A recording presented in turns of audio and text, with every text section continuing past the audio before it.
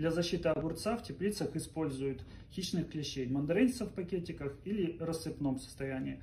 Можно при этом обрабатывать их химией, которая совместима. Это ТП, Пленум, Адмирал, Аплаут, Веримарк.